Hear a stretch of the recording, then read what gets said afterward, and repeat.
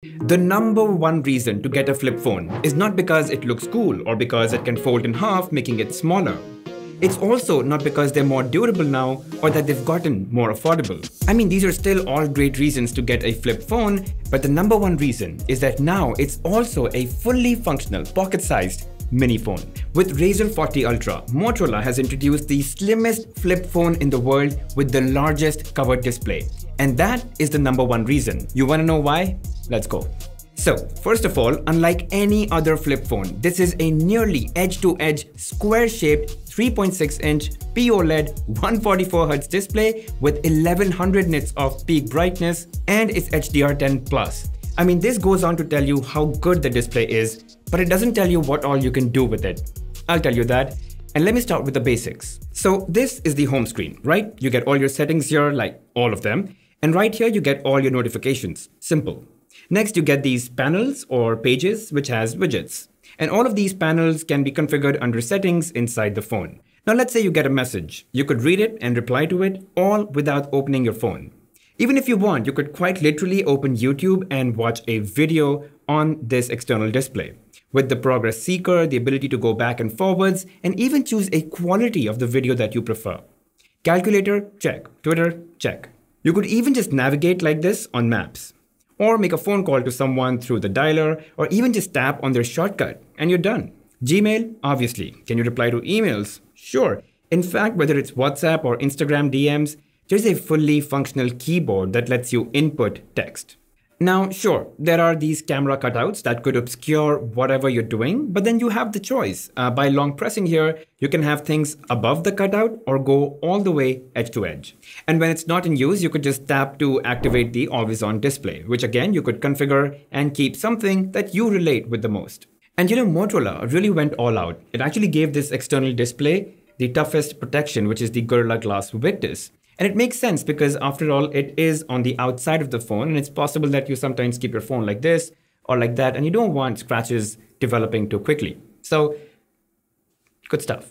Now, in addition to being functionally so superior, a cover screen of this size actually has a couple of more tricks. First, you could use it as a camcorder to record videos. You know, it's easier, it's more stable, and you kind of get a kick out of doing that. Second, it acts as a preview. So when you're taking a picture, the people in the front can see exactly how they're looking. Third, you can use it for taking super high quality selfies because it's the rare cameras that are being used to do that. And fourth, you can just rest it on a table and be on a hands-free video call or even use it to record a vlog or any kind of video of yourself. I mean, it just kind of lends itself in so many ways and just that larger cover screen suddenly makes your phone so much more purposeful.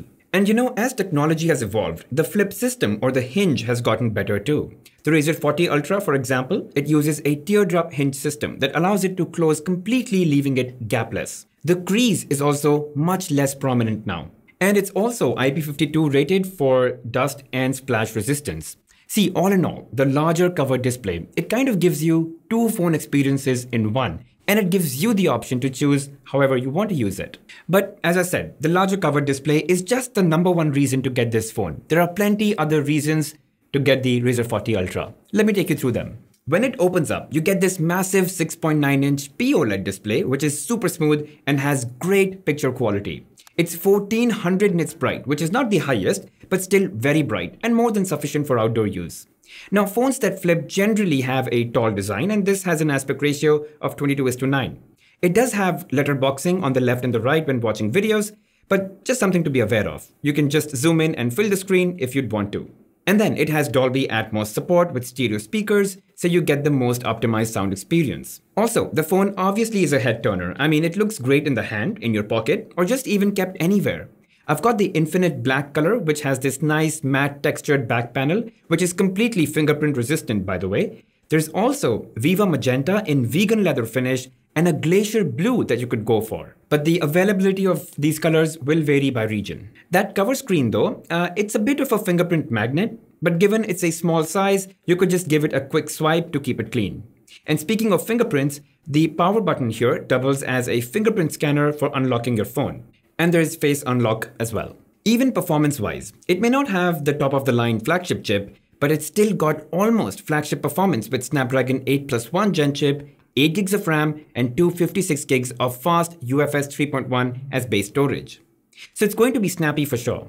Games like Call of Duty in multiplayer played really well. I could play with both graphic quality and frame rate set to high without any issues.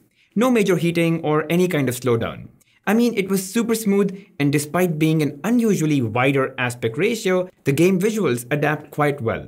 Now, see, flip phones in general tend to have smaller battery capacities. I mean, it's got to flip in half, and it's got an additional uh, cover screen that it's got to accommodate for.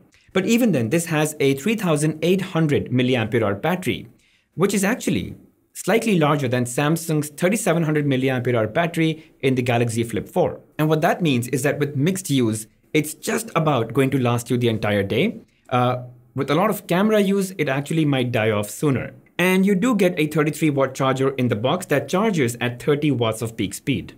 And lastly, let's talk about those cameras. Now, here are some shots taken using the primary camera of the 40 Ultra. I'll also leave a link below for you guys to download these samples. Now, the primary camera has an aperture of f1.5, which means it has a very shallow depth of field, and it comes equipped with OIS. And this optical image stabilization, when combined with auto night vision on the Razr 40 Ultra, produces some really epic low light and night shots, as you can see here. Selfies from the front-facing camera, they're decent in the daytime, but does suffer from a bit of softness when it gets darker.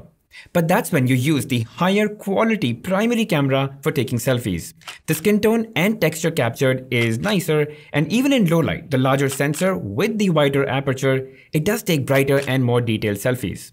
I would just always use the primary camera on this phone for taking selfies. And in terms of video, so the Razr 40 Ultra can shoot 4K videos to up to 60 FPS and it also supports portrait video mode. Now I took a quick sample in broad daylight and I'm really impressed by the stabilization on this thing. Even in slightly dim situations, the video held up quite well.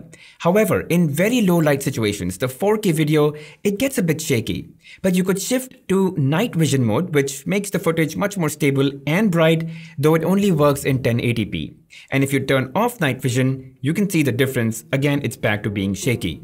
Look guys, the flip phones in 2023 are almost like a minor milestone and can possibly shape how we use external or secondary displays on our phones. Like today, they're merely adapting what we see on our main display, but tomorrow they can have their own dedicated function as you know, we live in a more connected world with connected appliances and as technologies converge. And Motorola seem to have opened up that vision. Anyway, that's it guys about the Motorola Razr 40 Ultra. If you guys have any questions, let me know in the comment section. And as always, don't forget to hit that like button, subscribe to the channel and hit that bell notification icon. And mark all, really helps the channel grow. I'll see you guys in the next one.